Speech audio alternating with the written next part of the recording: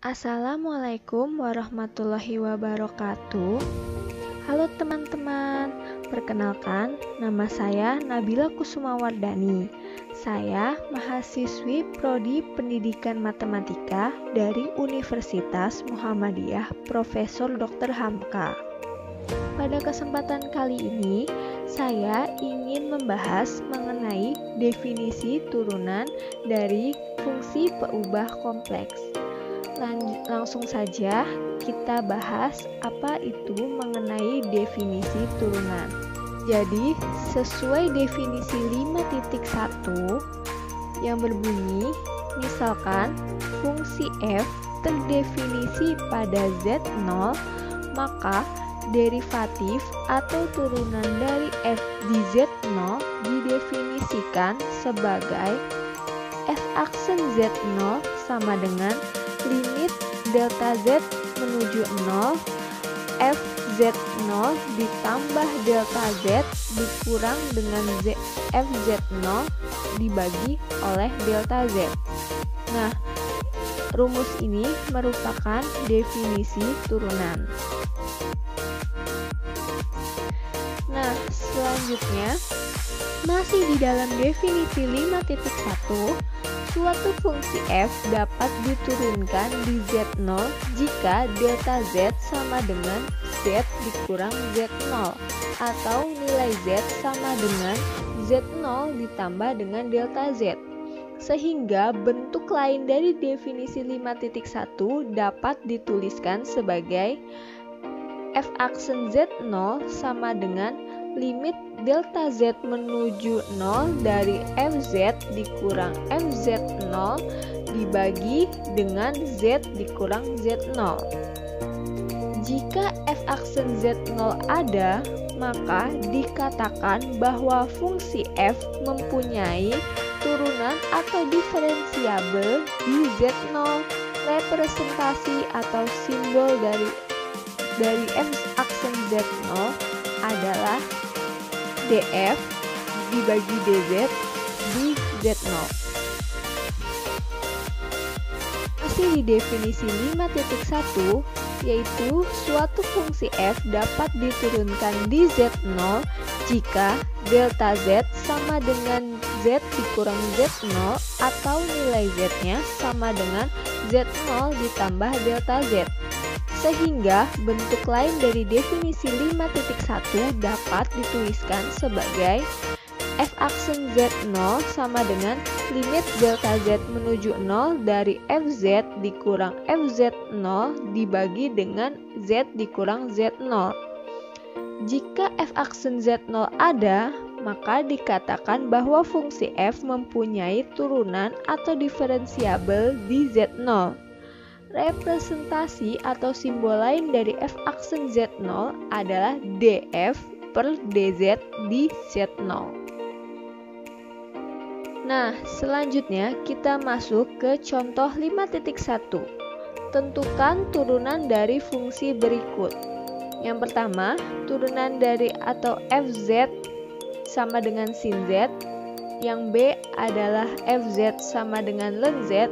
Dan C uh, Fz sama dengan 3Z kuadrat ditambah 2Z ditambah 1 Nah, kita selesaikan dulu yang pertama yang Fz sama dengan sin Z. Maka dengan menggunakan definisi turunan atau definisi 5.1 tadi, f aksen Z sama dengan limit delta Z menuju 0 dari Fz ditambah delta Z dikurang Fz dibagi dengan delta Z kita substitusiin nilai fz-nya ke rumus. Jadi limit delta z menuju 0 sin z ditambah delta z dikurang sin z dibagi dengan delta z. Nah, sin z ditambah sin delta z itu kan sama dengan sin a ditambah sin b dalam trigonometri. Jadi kita dapat tulis limit delta z menuju 0 sin Z dikali cos delta Z ditambah cos Z dikali sin delta Z dikurang sin Z dibagi delta Z. Nah, kita dapat tulis persamaannya seperti ini ya.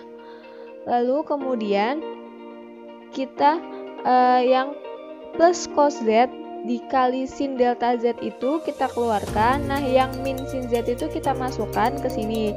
Jadinya limit delta Z menuju 0 sin Z dikali cos delta Z dikurang sin Z ditambah cos Z dikali sin delta Z dibagi delta Z. Maka selanjutnya kita pisah jadi limit delta Z menuju 0 dari sin Z dikali cos delta Z dikurang sin Z per atau dibagi delta Z ditambah limit dari limit delta Z menuju 0 dari cos Z dikali sin delta Z dibagi delta Z juga. Selanjutnya, yang ruas sebelah sini tuh sinnya bisa kita keluarkan. Jadi, limit delta Z menuju 0 dari sin Z dikali cos Z, eh, cos delta Z dikurang 1. Kenapa dikurang 1? Terus ini juga sisanya tinggal cos delta Z karena tadi sinnya sudah kita keluarkan ya. Jadinya sin Z dikali cos delta Z dikurang 1 dibagi dengan delta Z. Yang ruas ini ditambah limit delta Z menuju 0 cos Z dikali sin Z dibagi delta Z. Nah, sinnya bisa kita kedepankan jadi sin Z limit delta Z menuju 0 dari cos delta Z dikurang 1 per delta Z. Ditambah cosnya juga kita kedepanin jadi cos Z limit delta Z menuju 0 dari sin Z eh, sin delta Z dibagi oleh delta Z. Nah, maka bisa kita tulis sin Z limit delta Z menuju 0 dari minus 2 sin kuadrat setengah delta Z dibagi delta Z ditambah cos Z limit delta Z menuju 0 sin delta Z dibagi delta Z. Nah, kenapa di sini jadi min 2 sin kuadrat setengah delta Z? Karena tadi kan sebelumnya di sini nilainya cos delta Z dikurang 1. Nah, cos delta Z dikurang 1 ini nilainya sama dengan min, min 2 sin kuadrat setengah delta Z. Jadi, bisa kita tulis seperti ini. Lalu selanjutnya, karena di sini nilai sinnya uh, kuadrat bisa kita pecah jadi sin Z limit delta Z menuju 0 dari min 2 sin setengah delta Z dikali sin setengah delta Z dibagi delta Z untuk dari sini eh untuk sebelah sini masih sama yaitu Z limit delta Z menuju 0 sin delta Z dibagi delta Z nah selanjutnya bisa kita tulis lagi menjadi sin Z limit delta Z menuju 0 dari sin setengah delta Z dibagi delta Z dikali min sin setengah delta Z ditambah cos Z limit delta Z menuju 0 sin delta Z dibagi delta Z. Nah, selanjutnya kita masukkan atau kita substitusikan nilai delta Z-nya 0 ke nilai e, ke delta Z yang ada di sini. Jadi langsung aja kita substitusi nilai delta Z-nya. Jadi sin Z dikali setengah dalam kurung min 2 sin delta z sama dengan 0 kita substitusi menjadi 0 ditambah cos z nah nilai limit dari sin delta z dibagi delta z ini sama dengan 1 nah kalau yang ini nilai limit dari sin setengah delta z dibagi delta z sama dengan setengah. Nah kita operasikan jadi sin Z dikali setengah dikali min 2 sin 0 ditambah Z dikali 1 di sini jadi karena min 2 sin 0 nya sin 0 sama dengan 0 jadi di sini nilainya 0 jadi fz f aksen z sama dengan sin z dikali setengah dikali 0 ditambah cos z dikali 1 Nah, nilai ruas sebelah sini kan sama dengan 0. Nah, cos Z dikali 1 sama dengan cos Z. Maka F aksen Z sama dengan cos Z. Jadi, turunan dari sin Z yaitu adalah cos Z. Lanjut, yang kedua, fz sama dengan len z. Maka dengan menggunakan definisi turunan atau definisi 5.1 tadi, f aksen z-nya sama dengan limit delta z menuju 0 dari fz ditambah delta z dikurang fz dibagi delta z. Kita substitusiin nilai fz-nya sama dengan limit delta z menuju 0 dari len z ditambah delta z dikurang len z dibagi delta z. Nah, selanjutnya karena kita tahu len dikurang len itu sama dengan pembagian bisa ditulis menjadi pembagian jadi bisa kita tulis limit delta z menuju 0 len z ditambah delta z per z dibagi dengan delta z. Lalu kan z e, dibagi z sama dengan 1 maka bisa kita tulis lagi jadi limit delta z menuju 0 dari len 1 ditambah delta z per z dibagi dengan delta z. Nah 1 per delta z yang bawah ini bisa kita kedepanin jadi limit delta z menuju 0 dari 1 per delta z dikali len 1 ditambah delta z per z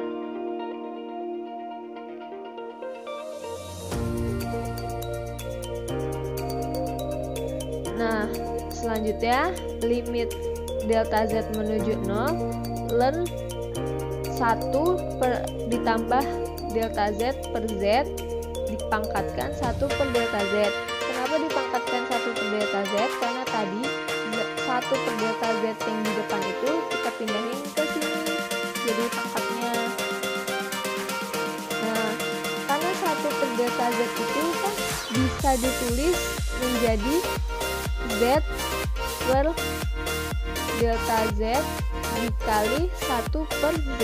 Maka bisa kita tulis juga jadi limit Z menuju 0 len 1 ditambah delta Z per Z dipangkatkan Z per delta Z dikali 1 per Z. Nah ini tuh dari ini. Jadi 1 per delta Z ini bisa di dijadikan seperti ini.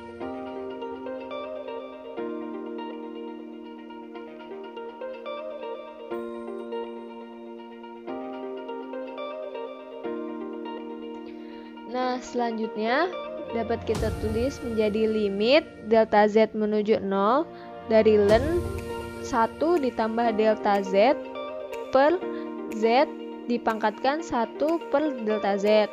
Nah, pangkat 1 per delta z nya ini dari yang tadi 1 per delta z yang kita taruh di depan terus kita dijadiin pangkat kita taruh di sini nah terus bisa kita tulis lagi menjadi limit delta z menuju 0 dari len 1 ditambah delta z per, del, per z dipangkatkan z per delta z dikali 1 per z nah ini tuh dapat dari mana? Dapat dari sini.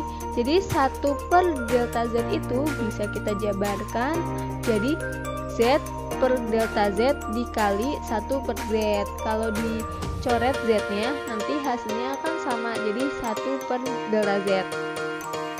Maka dari persamaan ini bisa kita tulis lagi jadi limit delta Z di menuju 0 dari len 1 per 1 ditambah delta Z per Z pangkat Z per delta Z dipangkatkan lagi dengan 1 per Z. Nah hasilnya itu F aksen Z nya sama dengan ln E dikali 1 per Z. Maka nilai F aksen Z nya sama dengan 1 per Z.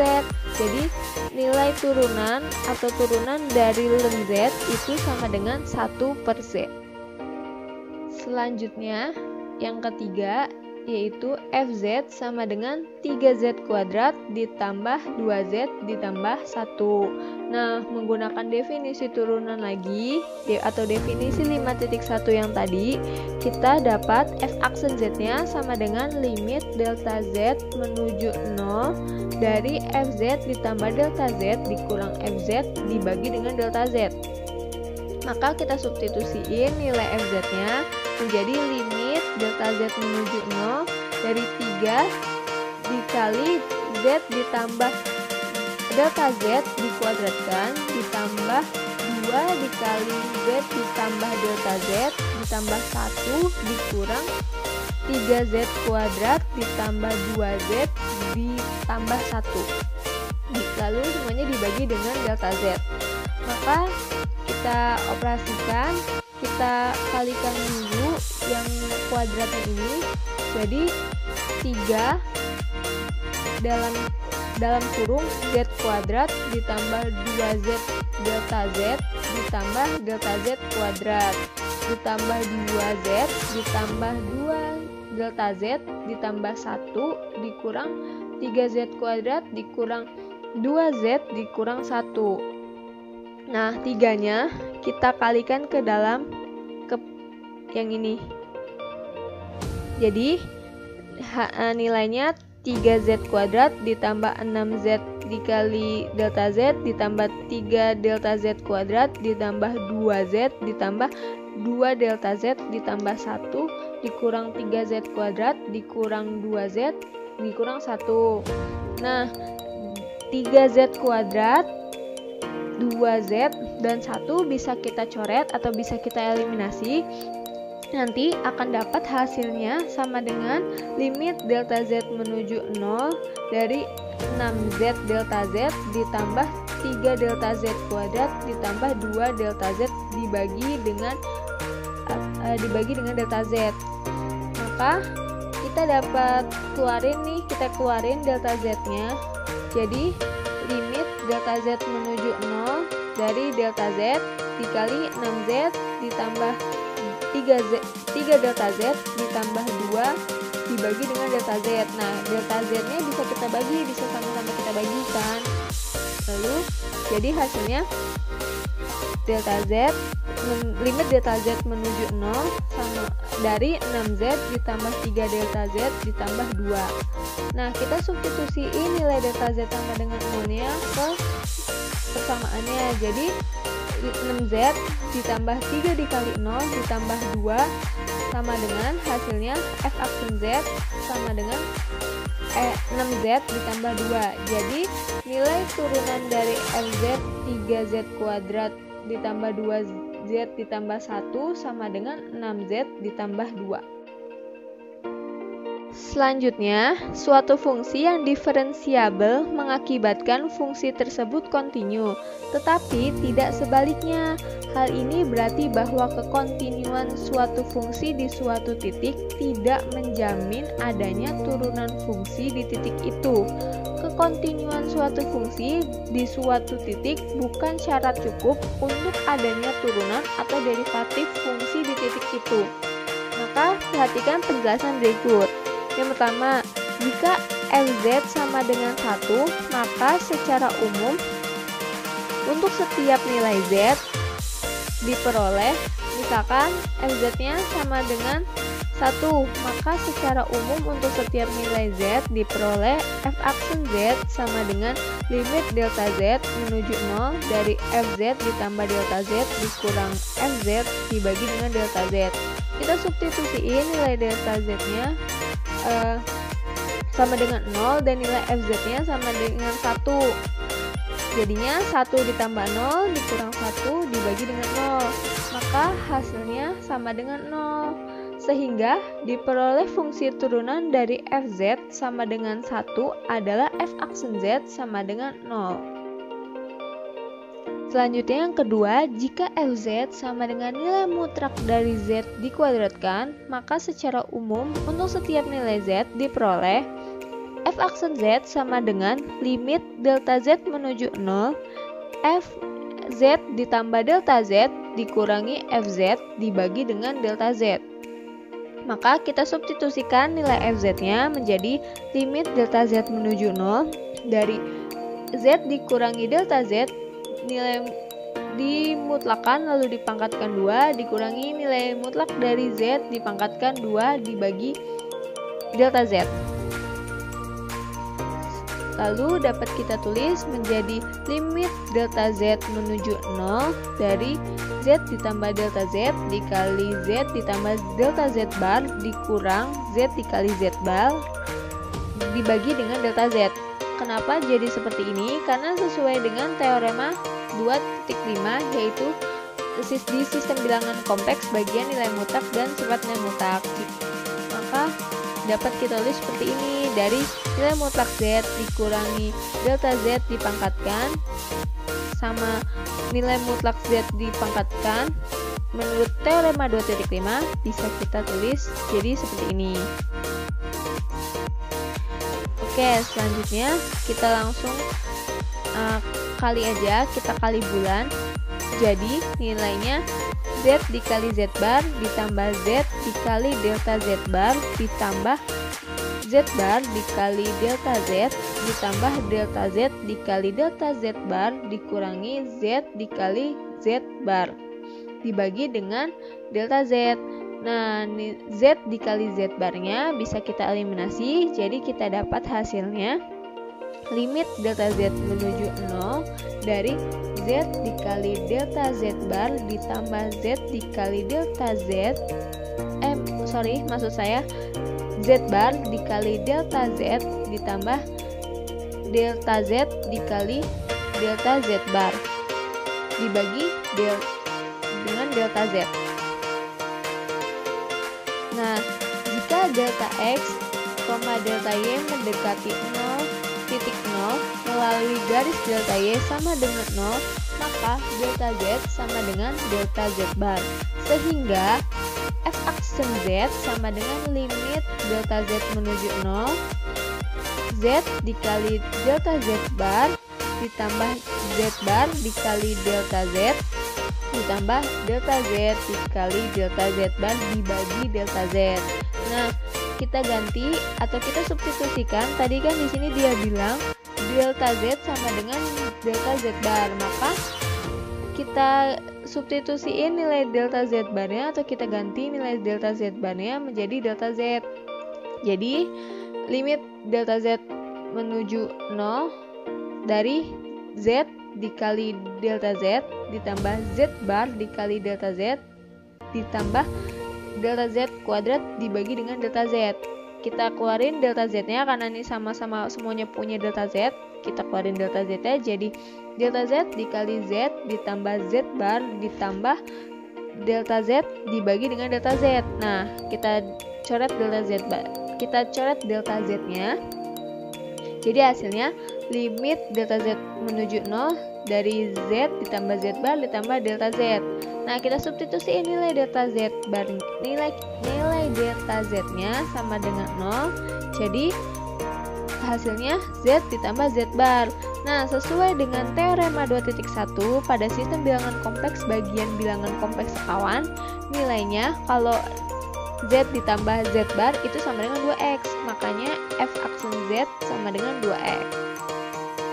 Selanjutnya, jika delta X, delta Y mendekati 0,0 melalui garis delta X sama dengan 0, maka Z, delta Z sama dengan minus delta Z bar, sehingga F aksen Z sama dengan limit delta Z menuju 0 dari Z dikali delta Z bar ditambah Z bar dikali delta Z ditambah delta Z dikali delta Z bar dibagi dengan delta Z. Nah, kita substitusiin atau kita ganti lagi uh, nilainya dengan minus Z bar. Karena tadi kan yang untuk sumbu delta X 0, maka kita jadiin minus. Jadi Z dikali minus delta Z bar ditambah Z bar dikali delta Z ditambah delta Z dikali minus delta Z bar dibagi dengan delta Z. Nah, kita ganti nilai minus delta Z barnya dengan ini nilai delta Z. Jadi nilainya sama dengan minus Z dikali delta Z ditambah de, ditambah Z bar dikali delta Z dikurang delta Z kuadrat. Nah, delta Z-nya kita keluarin kayak tadi. Jadi nilainya sama dengan delta Z dikali minus Z ditambah Z bar dikurangi sama delta Z dibagi dengan delta Z. Maka kita coret nilai delta Z nya hasilnya jadi limit delta Z menuju 0 minus Z ditambah Z dikurangi delta Z.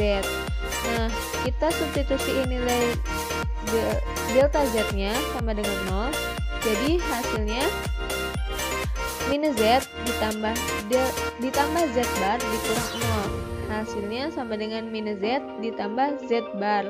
Nah minus Z ditambah Z bar ini sesuai dengan teorema 2.1 di sistem bilangan kompleks bagian bilangan kompleks sekawan itu nilainya sama dengan 2i maka f aksen Z nya sama dengan 2i selanjutnya jika Z tidak sama dengan 0, maka dua pendekatan tersebut menghasilkan nilai limit yang berbeda.